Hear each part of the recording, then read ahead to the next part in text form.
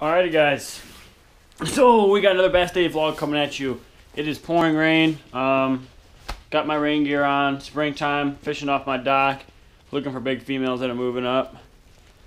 This is what I got to deal with. Rods I left in here last night, and all my tackle.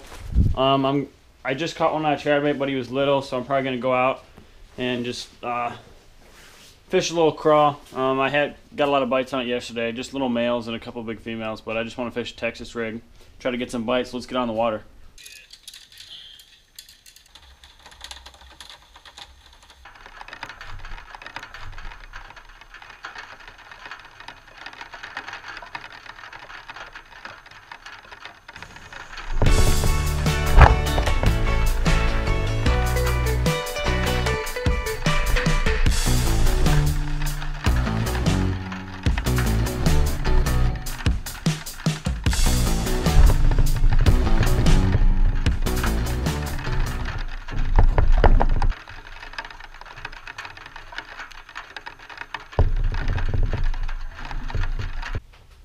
Alrighty guys, now I'm just going to retime back inside.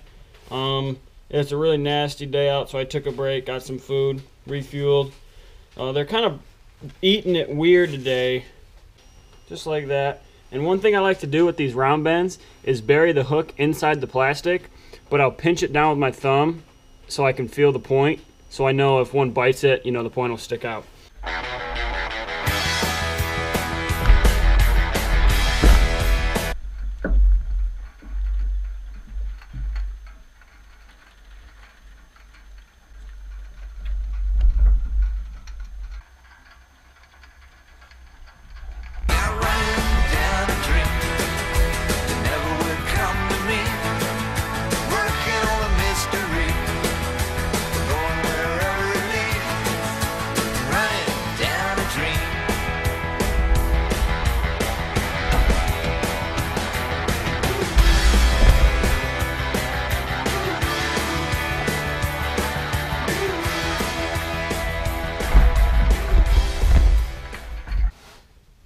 Alrighty, guys, wrapping up the day. Uh, not a bad day, not a horrible day. You know, got a few bites. Uh, swung on a lot of fish that were not eating the bait all the way, especially earlier this morning when I was throwing a little finesse jig.